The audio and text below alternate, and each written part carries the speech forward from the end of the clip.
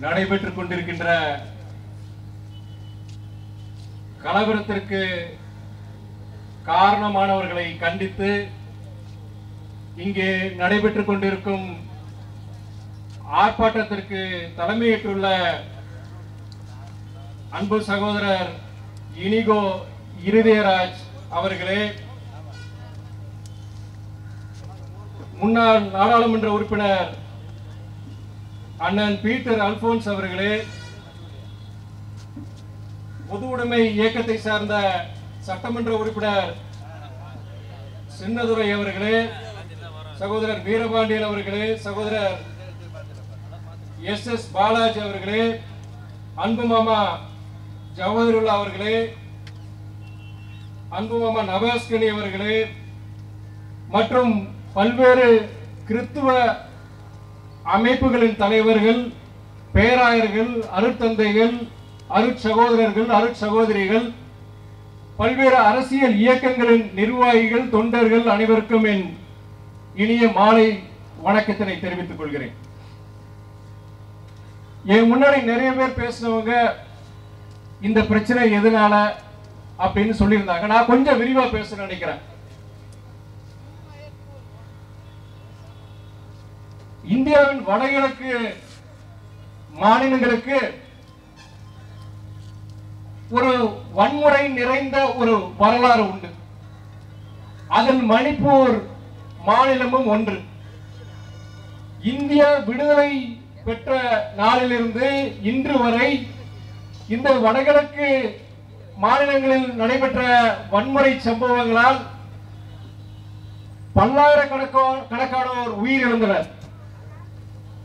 இதில் பொதுமக்கள் காவல்துறை ராணுவத்தினர் தீவிரவாதிகள் அடக்கம். ஆகஸ்ட் பதினைந்து ஆயிரத்தி தொள்ளாயிரத்தி நாற்பத்தி ஏழாம் ஆண்டு இந்தியா விடுதலை அடைந்த பொழுது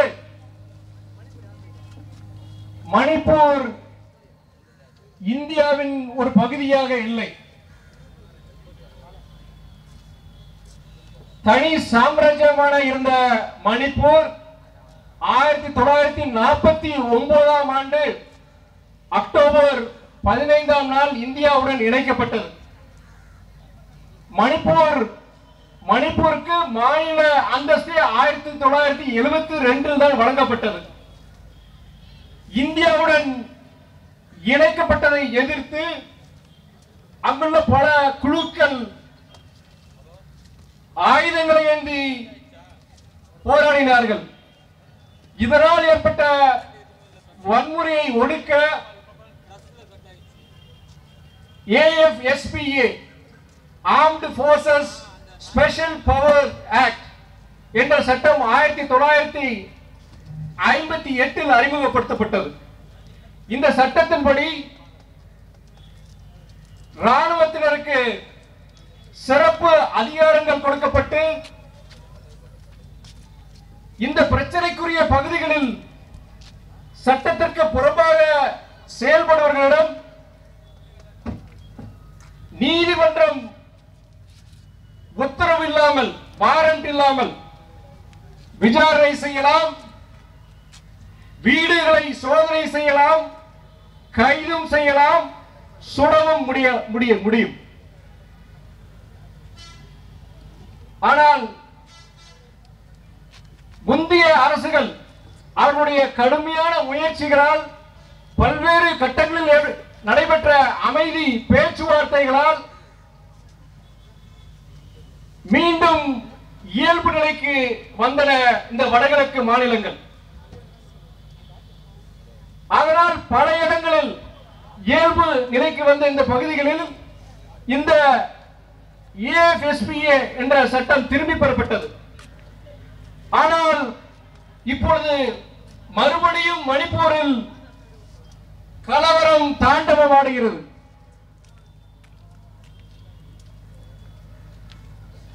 ஐம்பது ஆண்டுகளுக்கு மேலாக முந்தைய அரசுகள் அரசுகளின் கடுமையான முயற்சிகளால் பல உயிர்களை காவு கொடுத்து பெறப்பட்ட இந்த பிரச்சனைக்கு யார் காரணம்? என்று நாம் விடை தேடும் பொழுது மணிப்பூர் மாநிலத்தில் பெரும்பான்மையாக வாழும் மெய்தி சமூகத்தினர் தங்களை பழங்குடி பட்டியலில் சேர்க்க வேண்டும். அதற்குரிய சலுகைகளை தங்களுக்கும் வழங்க வேண்டும். என்ற கோரிக்கையை பல ஆண்டுகளாக கோரி வருகின்றனர். பொருளாதாரத்திலும் சமூகத்திலும் முன்னேறிய இந்த மெய்தி சமூகத்தினருக்கு அப்படி பழங்குடி அந்தஸ்து வழங்கினால் ஏற்கனவே நலிவடைந்துள்ள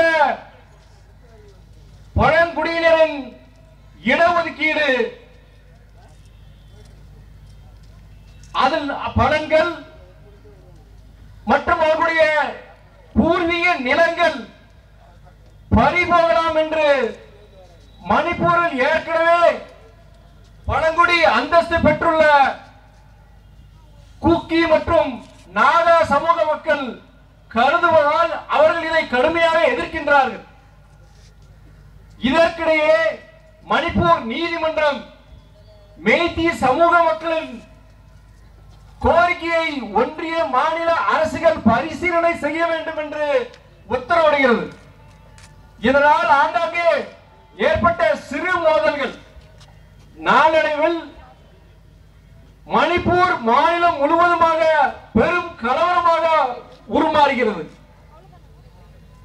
நூற்றி இருபதுக்கும் மேற்பட்ட மக்கள் பலியாகியுள்ளனர். ஆயிரக்கணக்கானவர் படுகாயமடைந்துள்ளனர். பலாயிரக்கணக்கானவர் தன்னுடைய தங்களுடைய உடைமைகளை வீடுகளை இழந்துள்ளனர். வழிபாட்டு ஸ்தலங்கள் கிறிஸ்துவ தேவ தேவாலயங்கள் ஆயிரக்கணக்கில் எரிக்கப்பட்டு சூறையாடப்பட்டுள்ளன. அதிகார வர்க்கத்தில் இருந்தவர்கள் இருந்தவர்களும் இதில் தப்பவில்லை. மணிப்பூர் மாநிலத்தின் சட்டமன்ற உறுப்பினர்கள் நாடாளுமன்ற உறுப்பினர்களின் வீடுகள் அலுவலகங்கள் சூறையாடப்பட்டன. பாஜக ஒன்றிய இணை வெளியுறவுத்துறை அமைச்சர் ரஞ்சன் சிங்கின் வீடும் கொளுத்தப்பட்டது.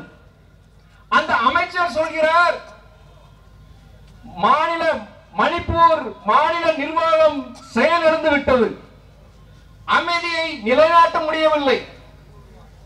இங்கே சட்டம் ஒழுங்கு முற்றிலும் கெட்டுவிட்டது என்று பாஜகவை சேர்ந்த ஒரு ஒன்றிய அமைச்சர் பாஜக மணிப்பூர் மாநில அரசை வெளிப்படையாகவே குற்றம் சாட்டுகின்றார். உயிருக்கும் உடைமைக்கும் உத்தரவாதம் இல்லாத சிரியா நைஜீரியா லிபியா லெபனன் நாடுகளைப் போல மணிப்பூர் மாநிலம் மாறி வருகின்றது இதை யாராவது கவனிப்பார்களா என்று குமுறுகிறார் அந்த மாநிலத்தை சேர்ந்த ஓய்வு பெற்ற ராணுவ தளபதி நிஷிகாந்தா. அங்கு இருக்கும் எதிர்க்கட்சிகள் ஒட்டுமொத்தமாக மணிப்பூர் முதலமைச்சர் ராஜினாமா செய்ய வேண்டும் அல்லது ஒன்றிய அரசு செயல்படாத மாநில அரசை டிஸ்மிஸ் செய்ய வேண்டும் என்று குரல் எழுப்பியுள்ளார்கள். ஆனால் ஒன்றிய அரசு செவி சாய்க்கவில்லை.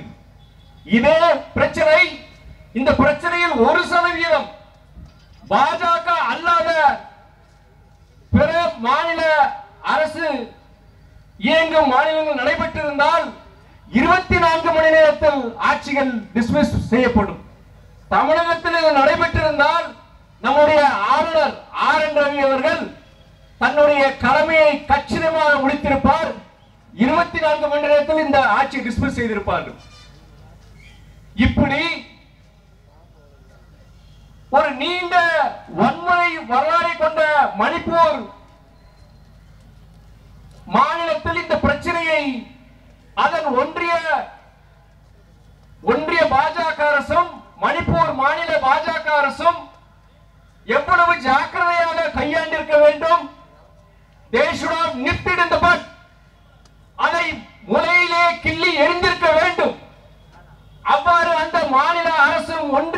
அரசும் செயல்படாதால் இன்று பிரச்சனை கட்டுக்கடங்காமல் போய்விட்டது.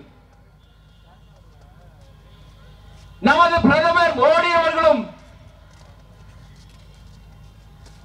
நாட்டின் பாதுகாப்பை உள்நாட்டு பாதுகாப்பை உறுதி செய்ய வேண்டிய உள்துறை அமைச்சர் அமித்ஷா என்ன செய்து கொண்டிருந்தார்கள் நாட்டை வளர்ச்சி பாதைக்கு இட்டுச் செல்கின்ற டபுள் இன்ஜின் சர்க்காரை நாங்கள் வழங்குவோம் என்று சொன்னார்கள் ஆனால் அவர்கள் கொடுத்ததோ நாற்பது பர்சன்ட் கமிஷன் சர்க்காரை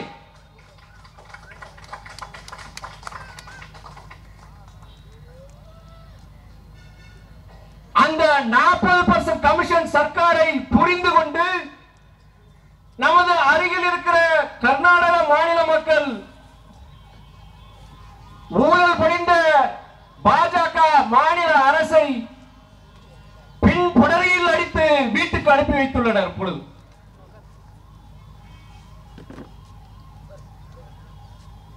இந்த பிரச்சனை மணிப்பூர் பிரச்சனை விஸ்வரூபம் எடுத்துக் கொண்டிருந்த பொழுது நமது பிரதமர் மோடி அவர்கள் இந்த நாற்பது பர்சன்ட் கமிஷன் சர்க்காரை காப்பாற்ற வேண்டும். மீண்டும் கர்நாடகா அரியணையில் ஏற்ற வேண்டும் என்று மிகவும் தேர்தல் முடிந்தது. அதன் பின்பும் ஒரு வார்த்தை இந்த பிரச்சனையை பற்றி அவர் பேசவில்லை.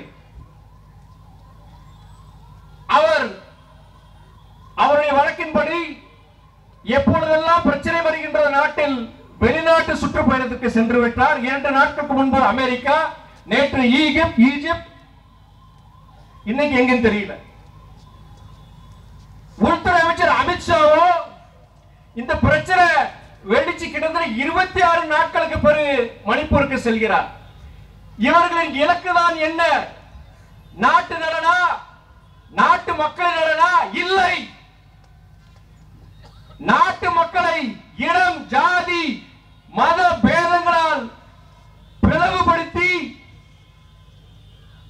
இவர்களது வாக்கு வங்கியை உயர்த்தி ஆட்சியை பிடிக்க வேண்டும்.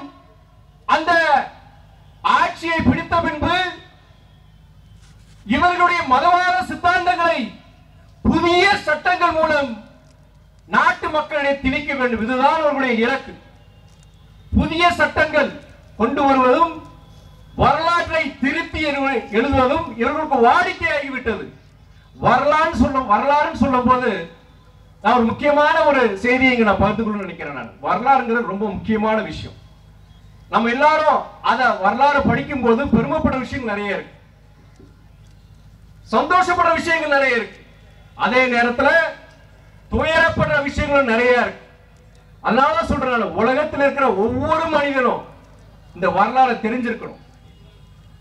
பெருமாள் நடைபெற்ற அந்த இனக்கலவரத்தால் இருபத்தி நான்காயிரத்துக்கு மேற்பட்ட ரோஹிங்கியா இஸ்லாமியர்கள் கொல்லப்பட்டனர். பல்லாயிரக்கணக்கான ரோஹிங்கியா இஸ்லாமியர்கள் இன்று உலகம் முழுவதும் பல நாடுகளில் அகதிகளாக வாழ்கின்றனர். இதை செய்தவர்கள் அந்த பெர்மாவில் உள்ள புத்த மத வெறியர்கள். இலங்கையில் நடைபெற்ற அந்த இனப்படுகொலையில் லட்சக்கணக்கான ஈழத் தமிழர்கள் கொல்லப்பட்டனர். இதை செய்தவர்கள் சிங்கள இனவாதிகள் அங்குள்ள புத்த மத வெறியர்கள். உலகிலே அதிக இன படுகொலை செய்தவன் ஜெர்மனியின் ஹிட்லர். அறுபது லட்சம் அறுபது லட்சத்துக்கும் மேற்பட்ட யூதர்களை கொன்று குவித்தான்.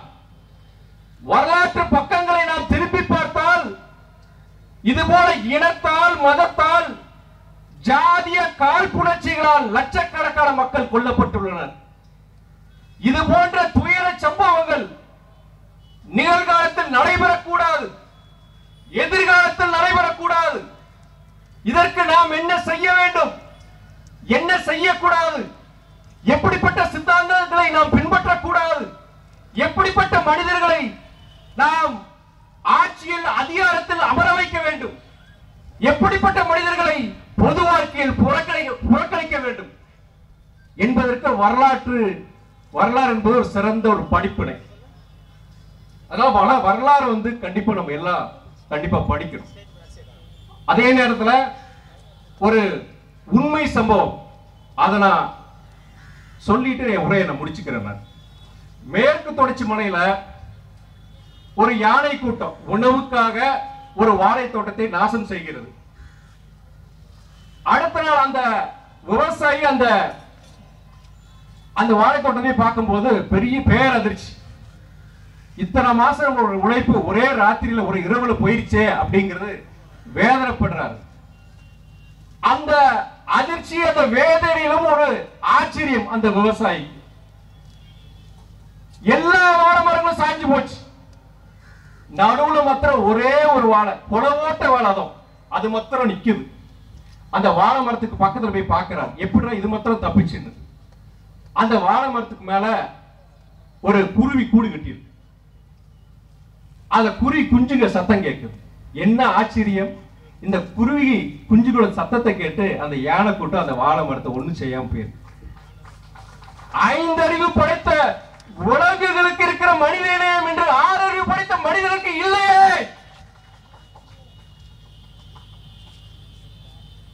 நான் புதுக்கோட்டை மாவட்டத்தில் தாழ்த்தப்பட்ட மக்கள் வச- வசிக்கும் வேங்கவேல் கிராமத்திற்கு சென்ற பொழுது அந்த தாழ்த்தப்பட்ட மக்கள் பயன்படுத்தும் அந்த தண்ணீர் தொட்டியில் மனித கழிவுகளை கலந்த சில ஆதிக்க சக்திகளின் செயலை கண்டித்து நான் பத்திரிகையாளர்கிட்ட பேசும்போது நான் குறிப்பிட்டிருந்தேன் நான். இங்கே அதான் நான் சொல்றேன் நான். அதனாலதான் ஜாதி மத இன பேதங்களை கடந்து நாம் அனைவரும் மனிதம் போற்றுவோம் சொல்றேன். இது பெரியார் தந்தை பெரியார் என்பன் அறிஞர் அண்ணாவின் மண் ஜாதி மத தேசங்களை மூலதனமாக கொண்டு செயல்படும் வலதுசாரி அரசியலுக்கு ஒரு முடிவு கட்டுவோம். மத அரசியலால் இந்த நாட்டை அழிவுப்பாதைக்கு இட்டுச் செல்கின்ற ஆர்எஸ்எஸ் பாஜக போன்ற அமைப்புகளுக்கு ஒரு முற்றுப்புள்ளி வைப்போம். நாம் அனைவரும் இந்த மணிப்பூர் மாநிலத்திற்கு திரும்பவும் அமைதி திரும்பிட நம்மால் இயன்றதை செய்வோம் என்று கூறி இந்த வாய்ப்பிற்கு நன்றி கூறி விடைபெறுகிறேன். நன்றி உணர்வு